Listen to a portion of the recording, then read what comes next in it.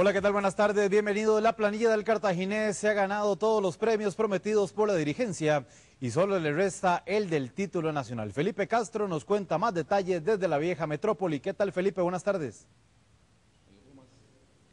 Hola, ¿qué tal, Maynor? Buenas tardes para usted, para todos nuestros amigos televidentes. Bueno, el conjunto cartaginense sigue su proceso de preparación para lo que va a ser el segundo duelo ante el plantel herediano. Arrancaron la práctica siempre pues con una charla técnica un poco extensa de Javier Delgado, donde pues pone muy claros los puntos que quiere durante cada día en el entrenamiento y desde ahora empieza a analizar al menos una variante en el sector del medio campo que pueda darle un poquito más de equilibrio al equipo para lo que va a ser su visita al Rosabal Cordero, donde los jugadores dejan claro que no van a defender ninguna ventaja.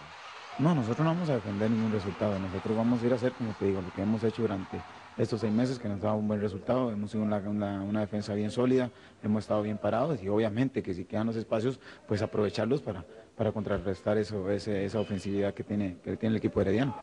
El tema de los premios es algo pues que no queda de lado acá en el plantel brumoso, aunque eso pues estaba ya eh, muy claro y definido desde el principio de la temporada, incluso ya los futbolistas eh, pues se han ido haciendo acreedores a distintos premios conforme ha avanzado también este certamen, pero este tema lo deja bien claro también el jerarca de la institución ya hemos ido cumpliendo, ya hemos ido cumpliendo. La semana pasada, creo que fue miércoles o jueves por ahí, ya transferimos la, parte que les corresponde a los jugadores, nosotros les damos a ellos un monto, ellos internamente, entre los capitanes y todos los demás, eh, definen la distribución, nosotros no tenemos ninguna participación en eso. Si se nos da el campeonato, ya posiblemente también, lunes o martes estaríamos transfiriendo el premio por el campeonato y ya los jugadores, pues bueno, ellos proceden de su forma.